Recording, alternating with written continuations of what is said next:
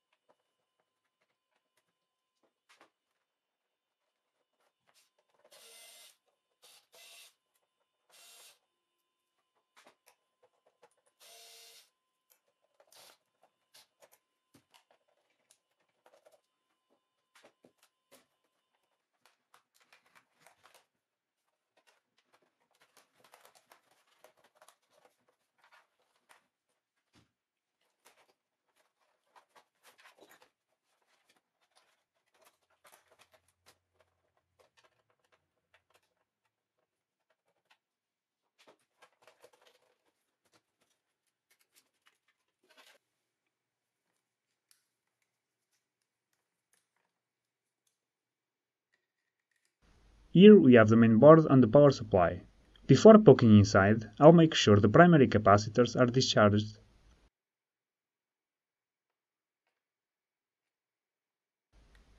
Now I'll check the fuse. I don't have access to the bottom of the board, but I can check if the input AC is connected to the diode bridge rectifiers.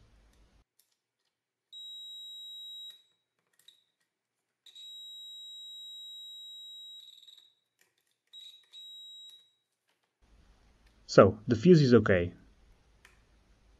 Usually, I also do a quick check of the diodes.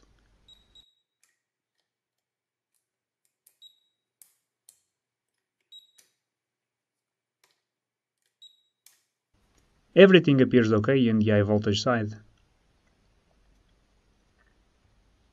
Nothing feels warm to the touch. I'll connect it to the mains and see if we are getting the expected output voltages.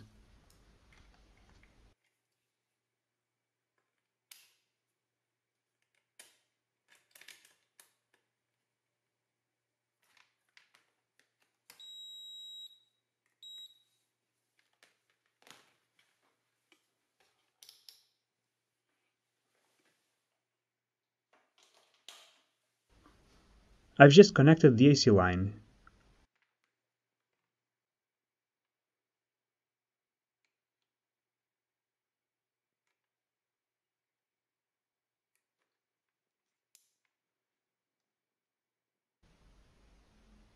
It's jumping around. That is not normal output. On this line, we actually get 0 volts.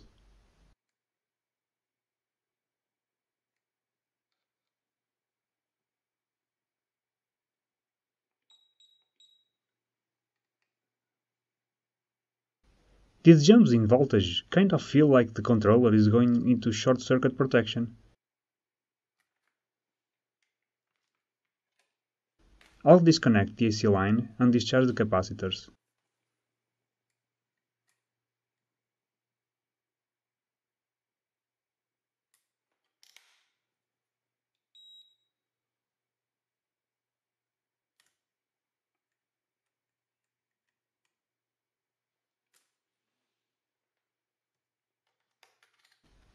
Now I'll quickly check the diodes on the secondary of the transformer.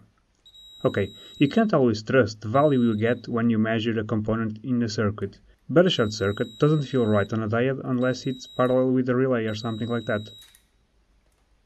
And these two are also shorted, strange. This doesn't feel right, so I'll take the diodes off to be sure.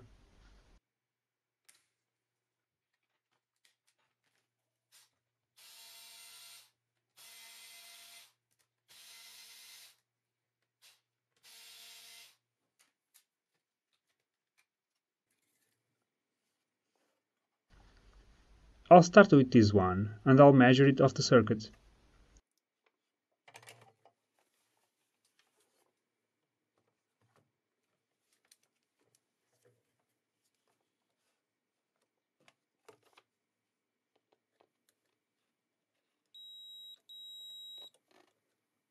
Yeah, this one is completely dead.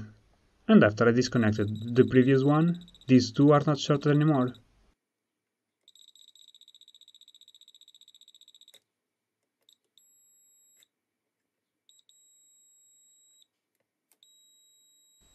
And that's because these three diodes were connected in parallel, which is really unusual.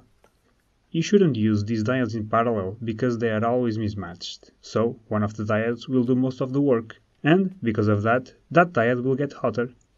One of the characteristics of Schottky diodes is that the forward voltage actually gets lower as the diode gets hotter. That means the diode that gets hot because it was doing most of the work will get even more mismatched and get an even bigger share of the work, eventually failing.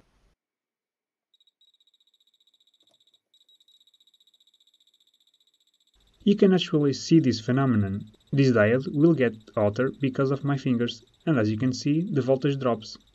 And even though there are two very similar diodes on the same package, the voltage is slightly different between the two.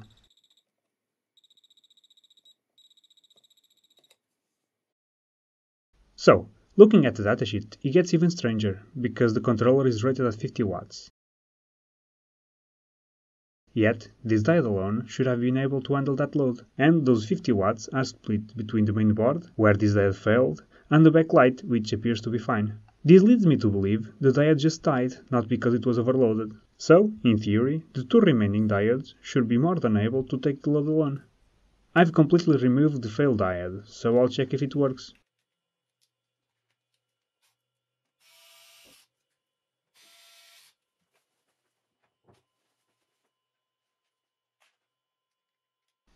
Okay, I've just connected the AC line, and the supply already has that faint buzz characteristic of switching converters, which is a good sign. We also have a standby light. I'll turn it on.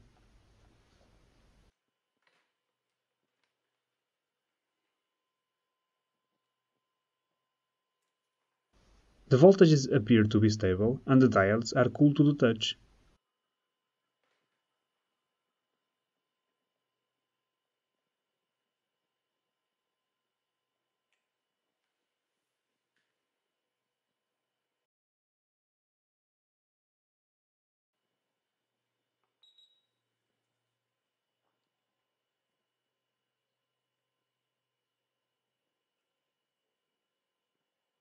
A bit later, the voltages are still stable and everything is still cool to the touch, so I'll consider this fixed.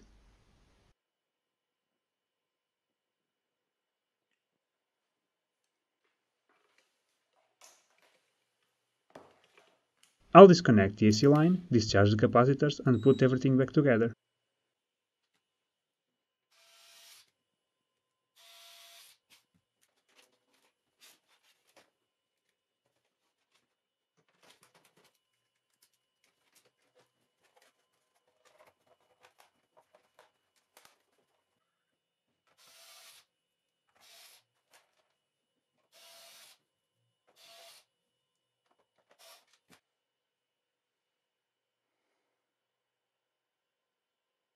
It works.